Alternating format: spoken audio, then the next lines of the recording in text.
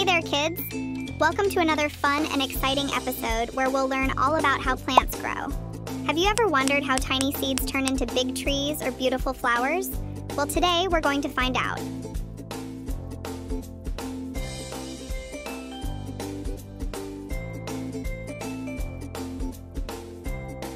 Let's start with a little seed. When you plant a seed in the soil, it might seem small and sleepy, but inside, it's full of life, just waiting to grow. But how does it happen? When the seed gets water and warmth from the sun, it begins to sprout. This is called germination.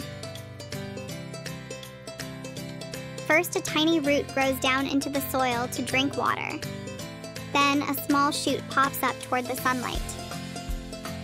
This is the first step of a plant's life, the seedling stage. Now that our little plant is growing, it needs something super important, sunlight and water. Just like how we need food and water to grow, plants need sunlight and water to get their energy. The plant's leaves soak up the sunlight and the roots drink water from the soil. These two things help the plant make its own food. Cool, right? This special process is called photosynthesis.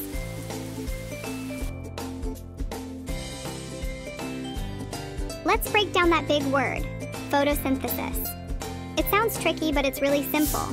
Photo means light, and synthesis means putting things together.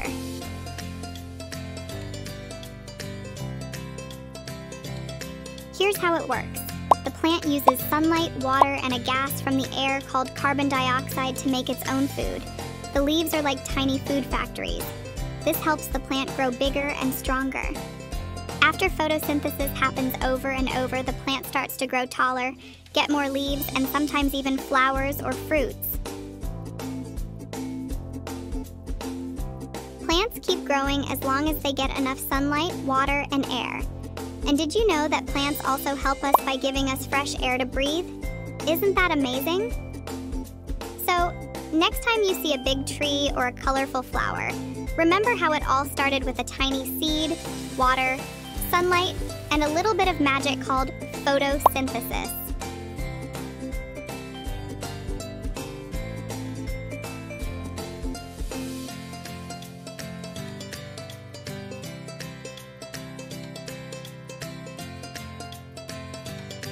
Thanks for joining me today, kids. If you liked learning about plants, don't forget to like and subscribe for more fun and learning. See you in the next adventure. Bye for now.